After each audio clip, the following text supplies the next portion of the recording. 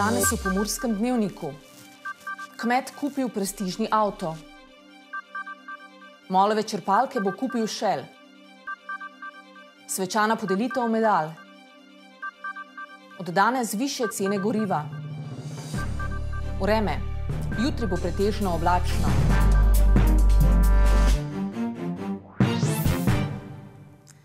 Spoštovane gledalke, cenjeni gledalci, lepo pozdravljeni. Potem, ko že od lanskega leta poročamo o draginji, ki je prizadela tudi kmetijstvo, je pred časom razburilo spoznanje, da si je kmetovalec iz Prekmorja letos kupil prestižni avto znamke Porsche. Avtomobil višjega cenovnega razreda je kupil potem, ko mu je država predlani izdatno pomagala s subvencijami pri 800 tisoč evrov vredni posodobitvi hleva za vzrejo prašičev.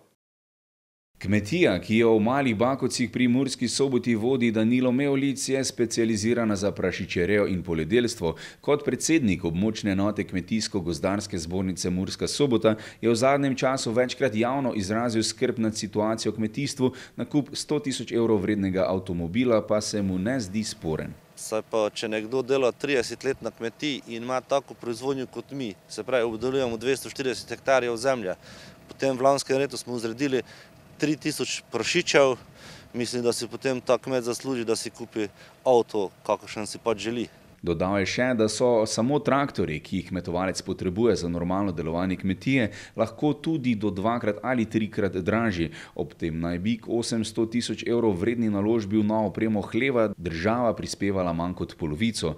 Tudi mariborski predstavnik sindikata kmetov Rado Lobnik ne vidi težave v tem, da si je Meolic kupil Porsche. Jaz mislim, da si lahko privošči se tudi delovnik ima kmet ne 12 ur, ampak 24 ur si kmet, ko si kmet, si kmet, ne, te nimaš nedelje, nimaš praznika, delo, že živino je vsak dan, ni dopusta. Kljub trdemu delu in državni pomoči pa si bodo očitno kmetje le s težavo privoščili avtomobile prestižnih blagovnih znamk v prihodnje. Pričakujemo eno najtežjih let v zgodovini in sicer zato, ker smo najverjetneje skoraj vsi lansko leto kupili draga mineralna gnojila in jih doma shranili.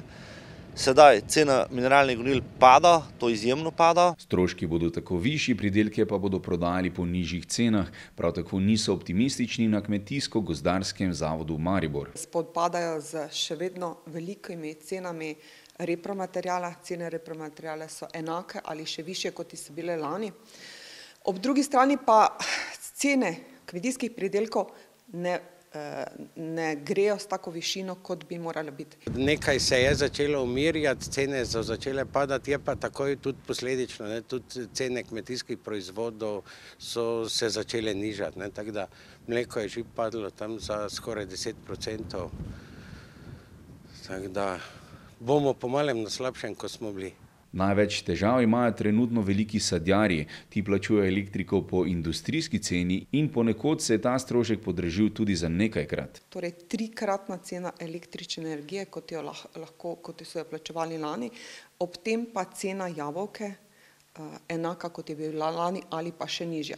Torej ta velika, velika cena električne energije, velika cena repromateriala ne sledi ceni jabolka oziroma kmetijskega proizvoda. Slovenija je sicer za neposredna plačila v okviru skupne kmetijske politike Evropske unije od leta dva tisoč petnajst do dva tisoč dvajset namenila osemsto štirinajst cela pet milijona evrov, celoten finančni okvir za novo obdobje do leta dva tisoč sedemindvajset pa je vreden kar ena cela osem milijarde evrov.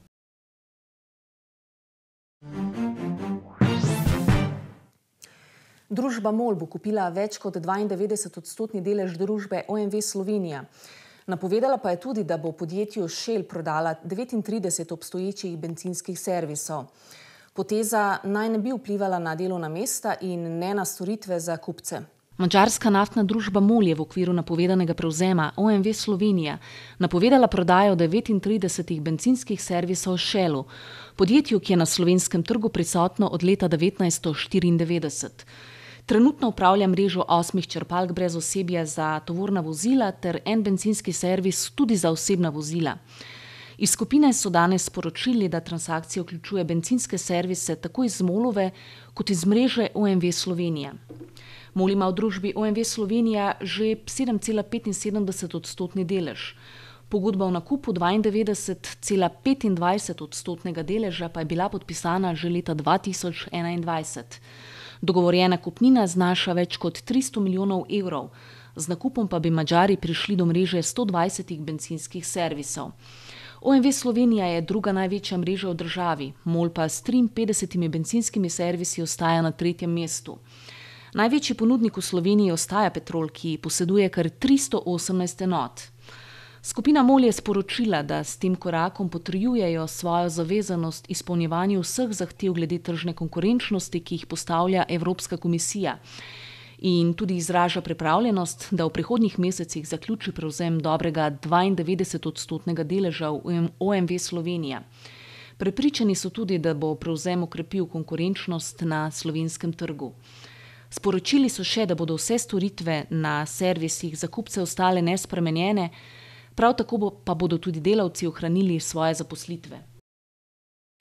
Prejšnji teden je območno Združenje veteranov vojne za Slovenijo Murska sobota priredilo slovesnost, na kateri so podelili medalje ob 30-letnici samostojne Slovenije. Območno Združenje veteranov vojne za Slovenijo Murska sobota je domoljubno, nepolitično in nevladno društvo, ki združuje vse udeležence vojne za Slovenijo iz občin Beltinci, Cankova, Gornji Petrovci, Grad Hodoš, Kuzma, Moravske toplice, Murska sobota, Puconci, Rogašovci, Tišina in Šalovci. Združenje deluje od leta 1991. Minuli teden pa je v dvorani spominskega doma Štefana Kuzmiča v Pucancih priredilo slovesnost, na kateri so podelili medalje ob 30-letnici samostojne Slovenije. V uvodnem delu sta se z glasbenim nastopom predstavila učenca osnovne šole Pucanci in glasbene šole Murska sobota.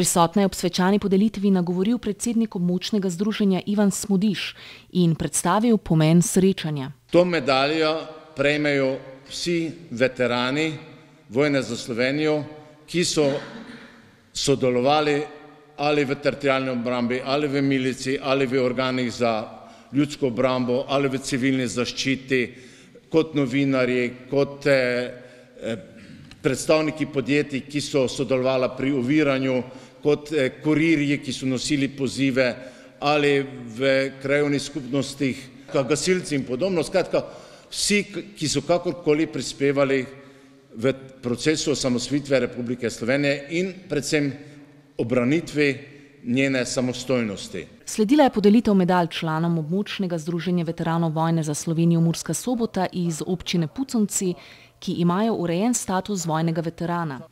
Podelitev je z obiskom počastil tudi nekdanji župan občine, seveda pa se je slovesnosti udeležil tudi župan občine Puconci Uroš Kamenšek. Skupno je bilo podeljenih 100 medalj. Čeprav je 30-letnica osamosvojitve Slovenije potekala že leta 2021, pa je predsednik ob tem pojasnil, da so medalje prejeli šele ob koncu lanskega leta in predvsem iz praktičnega vidika slavnostno podelitev združili z letnimi zbori članov po občinah. Tokratni torek je prinesel povišanje cen pogonskih goriv. Koliko bo za gorivo potrebno odšteti v prihodnjem 14-dnevnem obdobju? Z današnjim dnem so se cene goriv ponovno spremenile. Z Ministrstva za okolje, podnebje in energijo so sporočili, da bo odslej najvišja dovoljena drobno prodajna cena dizla znašala 1,504 evra na liter in je tako višja za 1,5 centa medtem ko bo v tem dvotedenskem obdobju potrebno za liter kurilnega olja odšteti 1,97 evra. Cena benzina se je prav tako povišala in sicer za cent in pol. V prihodnje bo tako znašala 1,374 evra na liter. Novo postavljene cene bodo v veljavi do vključno 27. marca. Preverimo še, kakšno vreme se nam obeta. Danes smo imeli pretežno oblačen dan in okrog 18 stopinj Celzija. V Ukrajinskem parku Goričko smo povdne namerili 12, medtem ko je bilo v Lendavi, Radencih in Murski soboti 18 stopinj. Jutri do povdne bodo rahle padavine ponehale tudi v južnih krajih. Čez dan se bo razjasnilo, popovdne pa bo možna še kakšna kratkotrajna ploha. Pihal bo veter severnih smeri, na primorskem večinoma šipka burja. Najvišje dnevne temperature bodo od 6 do 11, na primorskem do 13 stopinj Celzija. Najnižje jutranje temperature v severovzhodni Sloveniji, v Murski soboti in Mariboru bodo okoli 6, dnevne do 11 stopinj. V četrtek in petek bo pretežno jasno. Zjutraj bo marsikje slana.